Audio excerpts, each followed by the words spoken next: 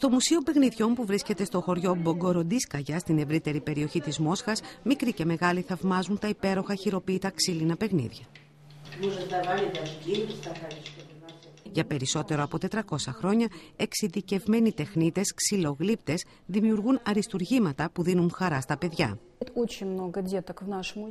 Η διευθύντρια του Μουσείου Παιχνιδιών, Ναταλία Βιούνινγκ, λέει ότι πολλά παιδιά έρχονται στο μουσείο και μένουν απόλυτα ευχαριστημένοι με τα παιχνίδια, γιατί τα βρίσκουν διαφορετικά από τα ανάλογα κινέζικα. Αλλά το πιο σημαντικό, όπως επισημαίνει, είναι ότι πιστεύετε πως τα κινέζικα ξύλινα παιχνίδια είναι επιβλαβή για την υγεία. Νομίζω, σημειώνει η κυρία Βιούνικ, ότι τα παιχνίδια θα ζήσουν και θα μπορούν να παίζουν με αυτά τα παιδιά. Τα παιχνίδια αυτά είναι πλέον συνυφασμένα με την λαϊκή τέχνη στη Ρωσία.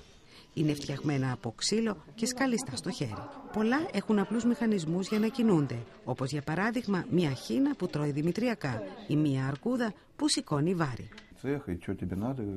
Ο Γκενάδη Λουτσέγκο, ένας από τους λιγοστού τεχνίτες που ζουν σήμερα, αναφέρει ότι στο μεγάλο εργαστήριο υπάρχουν όλα τα είδη εργαλείων.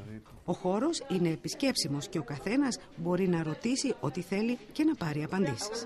Σήμερα στο χωριό Μπογκοροντίσκαγια υπάρχει εργοστάσιο, όμως ακόμη δεν χρησιμοποιούνται μηχανήματα, ενώ ένα τμήμα του λειτουργεί και ως μουσείο.